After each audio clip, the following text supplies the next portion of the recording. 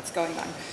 Um, so thanks for attending this talk. Um, we were, would like to tell you something about the challenges and benefits of using open source uh, spatial in a large marine construction company. And to start off, how do I go to the next slide? Just click this? Yeah. Sorry, I like to stand up. Um, we've got four minutes, so I thought deciding it, uh, uh, presenting four slides. So what are the activities of Van Oord? Because I don't know if you're familiar with the company, so it would be nice to tell you something about it. Uh, which tools do we use? Uh, but then uh, the most important thing is like what are our benefits and what are our challenges, because there are many. Um, so just a very short introduction about the company. Um, it's a large marine construction company, so we build offshore wind farms, we build uh, harbors, we build on the right-hand side, you see uh, uh, like the Netherlands has a lot of water, but also a lot of barriers to keep the water out. So we construct those. And as you can imagine, it all involves uh, geoinformation. Um, Zara and I are working at the GIS team. That's only uh, seven people at the moment, and uh, we try to make sure that the company is uh, GIS spatially aware. But before that, there's been a lot of activity around geospatial information. So I give the word to Sarah to explain to you how we deal with this. Hi, uh, I'm Sarah Jawed, and I'm the GIS developer at Van Oord. And um, going into which uh, open source tools we use, um, we get data from all kinds of sources. So uh, some from the survey department, uh, identifying dangerous objects, and some from the design department, uh, engineering, uh, also sensors from the field for projects.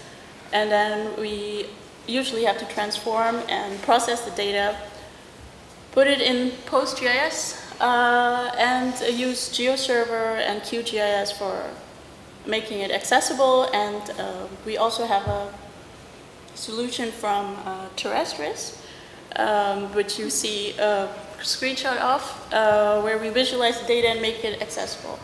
So um, that's, that's one example.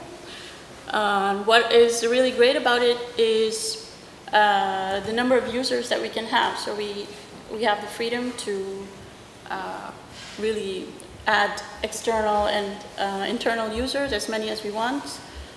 Uh, yeah, and um, we can also use it on vessels. Uh, what you see also on the right is an example app that we developed uh, for the company for internal and external users as well, completely using OpenLayers and um, Vue front-end framework. Uh, and uh, this was to identify uh, uh, climate, climate risk areas and uh, it's used for finding out what are the good locations for uh, um, starting projects. And uh, yeah, we could customize it as we want without paying for licenses. And um, when we ran into trouble, of course, there was the help of the community and uh, plenty of things to find online when uh, debugging. so that was great. Yeah, so finally, uh, the challenges, there's many. And uh, well, I really liked the presentation before on large raster data sets because that's also a challenge we have. So maybe we should have another chat. Uh, because we have a large number of employees, we have 5,000 people worldwide working with this geospatial information, want to have access to this geo information, and a large number of users that does stress our uh, infrastructure because, well, how many people want to ask for large data sets at the same time? And uh, yeah, that means that we have large quantities of layers. Layers are replaced like every day, uh, new designs, new survey data. So we have a, a really fast, uh, we need really fast tools to process that and make them available again. Many large raster data sets.